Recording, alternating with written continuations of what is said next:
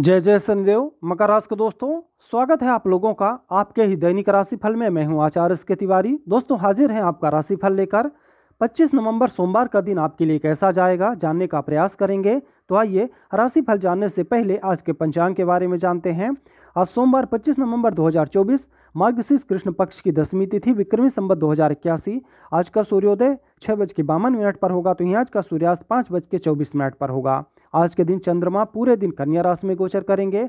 आज जिन बच्चों का जन्म होगा, उनकी राशि कन्या होगी। बात करेंगे आज के मुहूर्तों की। तो ब्रह्म मुहूर्त रहेगा पाँच बज के चार मिनट से, सुबह पाँच बज के अंठावन मिनट तक। अभिजीत मुहूर्त रहेगा ग्यारह बज के सैंतालीस मिनट से, बारह बज के उनतीस मिनट तक। विजय मुहूर्त रहेगा एक बज के चौवन मिनट से, दो बज के छत्तीस मिनट तक। आज अमृतकाल का समय रहेगा पाँच बज के सोलह मिनट दोपहर बाद से, शाम सात बज के चार मिनट तक। तो ये थे आज के शुभ मुहूर्त इसके अलावा आज कोई भी शुभ मुहूर्त नहीं बन रहा है। आज का राहु काल का समय रहेगा, सुबह आठ बज के ग्यारह मिनट से सुबह नौ बज के तीस मिनट तक। राहु काल के समय किसी भी अच्छे और शुभ कार्यों की शुरुआत नहीं की जाती है। अब आइए बात करेंगे आपके राशिफल के बारे में। मकर राशि के दोस्तों, आज का दिन आपके लिए काफ़ी शांतिपूर्ण और सामान्य रहेगा और जितना सरल महसूस करेंगे उतना ही अच्छा महसूस होगा। अधिक की अपेक्षा ना रखें और ना ही कम मिलेगा, इसलिए आज का दिन अच्छा रहेगा। आज आपको मित्रों का सहयोग प्राप्त होगा, आपको उनके साथ गासिप करने का मौका मिलेगा। अगर आप किसी से प्यार करते हैं तो आज आपका प्यार चरम पर रहेगा। भावुकता बनी रहेगी और आप कहीं डेट पर भी जा सकते हैं। आज के दिन आप संपत्ति में निवेश कर सकते हैं या नया वाहन खरीद सकते हैं। ऐसे कई मामले हैं जिन पर आपकी राय पर विचार नहीं किया जाएगा। आज आप थोड़ी दुखी हो सकते हैं।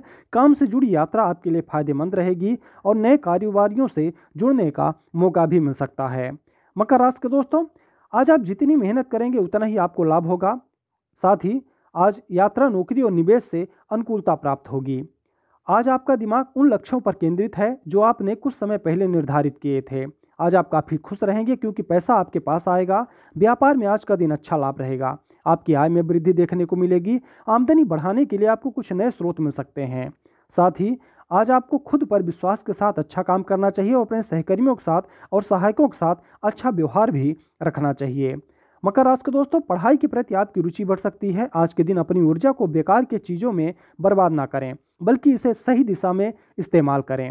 आज जीवन साथी की सोच को समझने की कोशिश करें, इससे आपको ही फ़ायदा होगा और दोनों के बीच में बेहतर सामंजस्य बना रहेगा। मामले को लेकर किसी भी प्रकार के किसी भी प्रकार की हड़बड़ी ना करें। आर्थिक रूप से किसी भी निर्णय के लिए आपको आज के दिन बहुत सावधानी से काम लेना चाहिए। मकर राशि के दोस्तों, अपनी नौकरी से दूर होने से आपका दिमाग खुल जाएगा।